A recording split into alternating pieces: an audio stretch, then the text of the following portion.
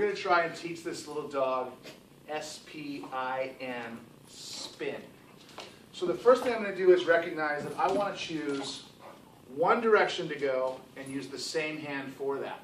So, ow! So I'm going to choose counterclockwise with my right hand. And it's going to go like this. I'm going to get him involved with the food, right hand.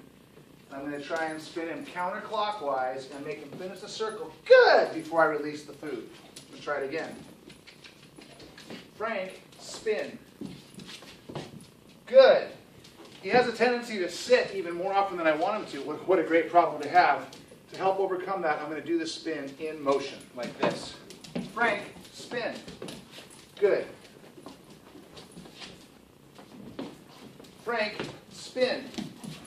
Good. Frank, spin. Good. Now I want to start being able to get him to spin without the food in my hand. To help achieve that, I'm going to still use the food as a lure. And since I'm using it as a lure, I really want to give it to him, but I'm going to reward him out of the other hand with a different piece of food. It's going to look like this. Frank, spin. And good. Frank, spin. Good.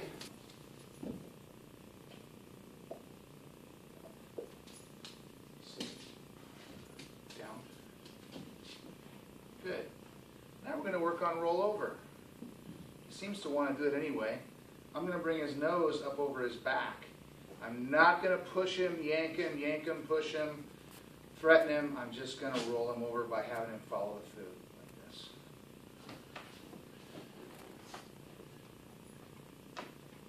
Good. Once he gets past the middle point, I bring it straight out.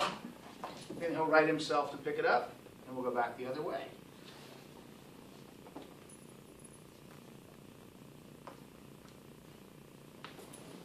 Good. And we'll do it again. Down.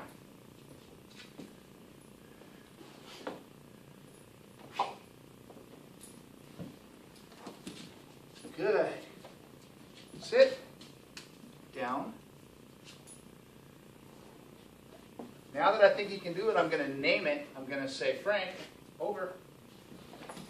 Good. So now we're going to try doing a spin and a rollover. Spin. Good. Down. And over.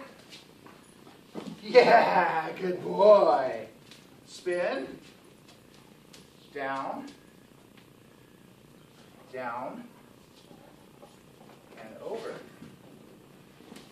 Good boy. Yeah, that's good. You're so smart. Spay, spay your pet, or you may, May, may regret. You've got to spay or neuter. It's the best thing for your pet. If you haven't done it yet, take your pet to the vet.